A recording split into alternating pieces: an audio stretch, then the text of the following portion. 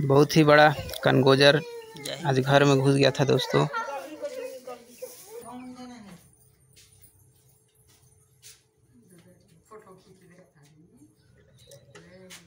तो इसको चलिए निकालते हैं।